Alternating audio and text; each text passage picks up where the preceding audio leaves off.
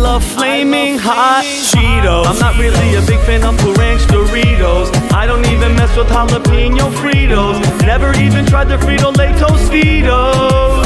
Flaming hot Cheetos. Sometimes I put a bunch all up in my burrito. I like to squeeze the lime and add some Tapatio. Never greedy so I share with my amigo.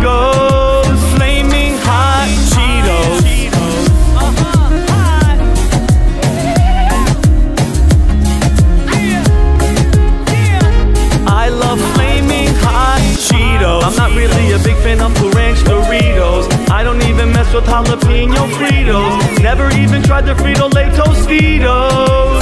Flaming hot Cheetos. Sometimes I put a bunch all up in my burrito. I like to squeeze the lime and add some tapatio. Never greedy, so I share with my amigos.